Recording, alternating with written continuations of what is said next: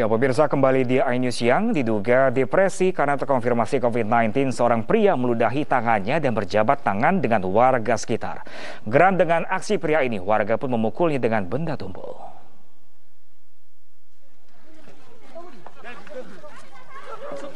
Warga desa Bulu Silape, Kabupaten Toba, Sumatera Utara geram dengan aksi salah satu pasien COVID-19 warganya. Pasalnya sang pasien diduga depresi karena terkonfirmasi positif corona dan berusaha meludahi tangannya lalu bersalaman ataupun memegang warga lainnya agar tertular.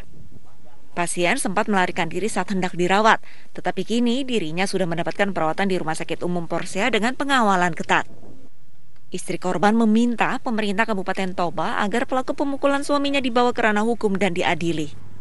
Mana bu? Iya kalau bisa di apalah hukum berjalan lah kalau bisa dihukum lah yang memukulnya yang memukul termasuk kepala desanya dihukum seberat-beratnya.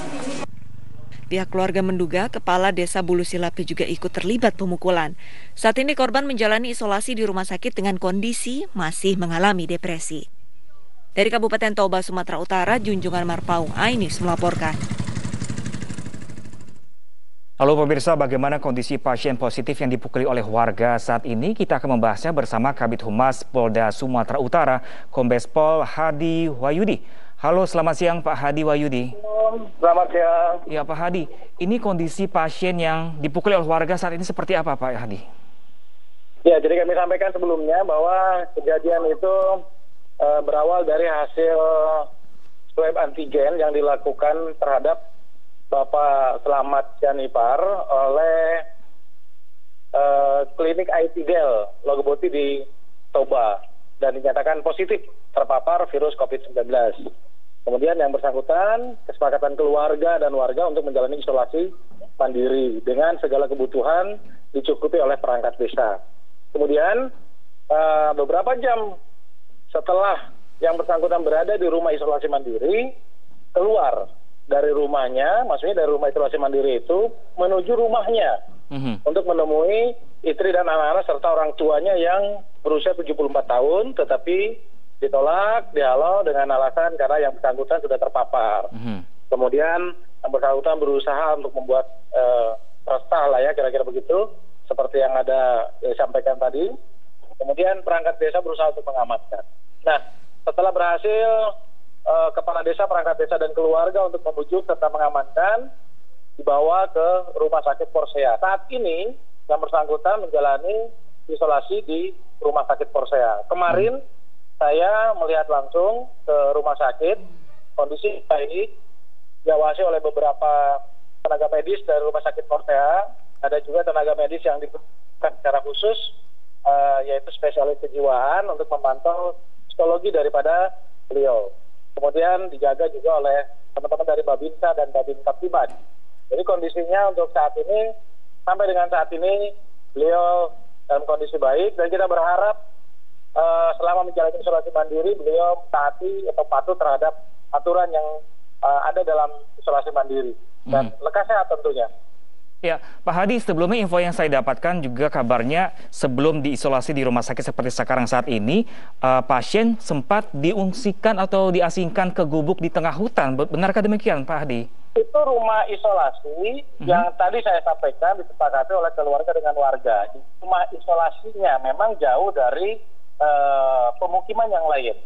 Hmm. Dari pemukiman yang lain, kemudian informasi dari kepala desa memang betul untuk penerangannya sangat minim kemudian fasilitas untuk sembako kebutuhan selama isolasi terpenuhi sudah dipenuhi oleh mm -hmm. kepala desanya. Nah, kalau sejauh ini Pak, Pak Pak Hadi, apakah sudah ada tersangka dari pihak warga yang memukuli pasien tersebut? Atas laporan itu, Polres Toba pun sudah memanggil untuk beberapa warga untuk dimintai keterangan dan klarifikasi terkait dengan kejadian tersebut. Jadi kita pun juga uh, sudah melakukan uh, pemanggilan, pun termasuk juga dengan istrinya yang membuat laporan itu. Baik, Baik Pak Hadi, terima kasih banyak Pak Hadi telah berbagi informasi bersama kami di Ayu Siang Pak Hadi. Semoga Baik, kejadian ini tidak terulang kembali Pak Hadi. Baik, terima kasih. Waalaikumsalam warahmatullahi wabarakatuh Pak Hadi. Ya pemirsa, Kita ke informasi selanjutnya, ke informasi kecelakaan pemirsa sebuah truk terguling karena mengikuti petunjuk jalan dari Google Maps di Lembang, Jawa Barat.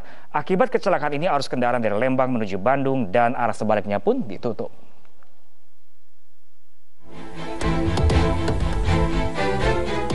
Warga bergotong royong menyingkirkan muatan truk yang menutup badan jalan di tanjakan Kampung Bunisari, Lembang, Bandung Barat, Jawa Barat. Truk bermuatan bata hebel terguling akibat tidak mampu melintasi di tanjakan ini.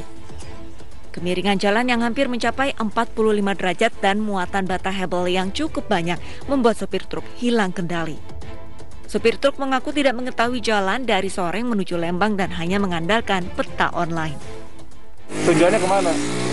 ke Lembang Lembang. Kenapa bisa nyasar ke sini kok? ikutin map Ikutan map. Terus pas udah ke sini gimana? Ya kayak gini nggak nggak naik Nggak naik. Ini muatannya berapa banyak kang kira-kira? 8 ton 400 8 ton. Evakuasi truk yang terguling membutuhkan waktu lebih dari 5 jam. Akibat kecelakaan ini arus selalu lintas dari Lembang menuju Bandung dan arah sebaliknya ditutup. Karena pada saat di TKP kendaraan pengangkut hebel tersebut tidak untuk melintas jalanan menanjak sehingga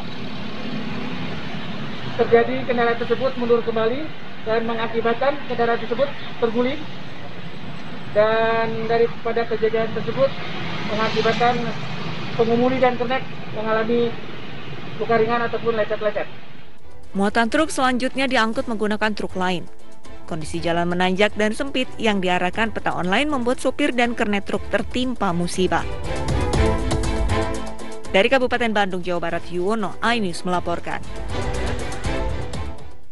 Ya pemirsa, usai sudah siang hari ini dan kami ingatkan kembali untuk melindungi keluarga Anda dengan mengetatkan protokol kesehatan 3M karena saat ini penularan COVID-19 semakin meningkat. Ya dan pemirsa jangan lupa untuk memakai masker, menjaga jarak, menjauhi kerumunan, dan mencuci tangan di air yang mengalir. Serta dukung program vaksinasi pemerintah demi terjadinya kekebalan kelompok agar pandemi segera berakhir. Saya Arlisa Adi dan rekan saya Pram Senjaya mewakili kerabat tugas yang bekerja pamit undur diri. Terima kasih dan sampai, Sampai jumpa. jumpa.